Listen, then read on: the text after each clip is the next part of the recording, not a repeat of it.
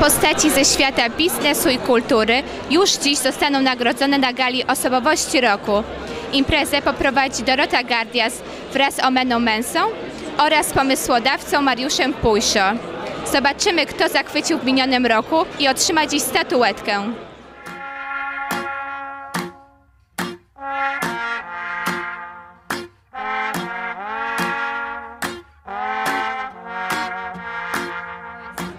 Najbliższy czas wybieram się do Nowosybirska na Fashion Week, zostałam zaproszona jako gwiazda.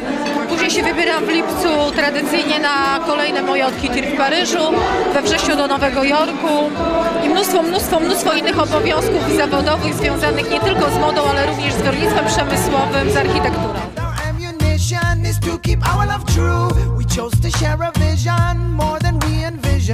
While this song is playing, I wanna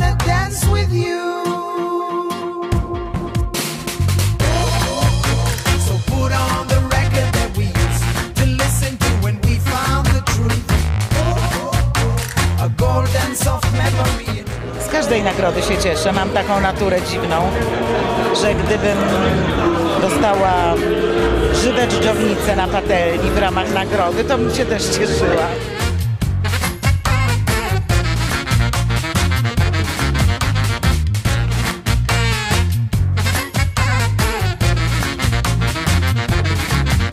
Zobaczyliśmy karnawałowy pokaz mody oraz występ Marka Torzewskiego, ale przede wszystkim znamy laureatów gali.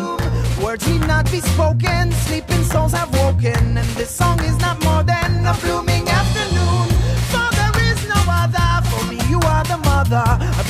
sound of ever, in a perfect tune. As night slowly approaching, the sun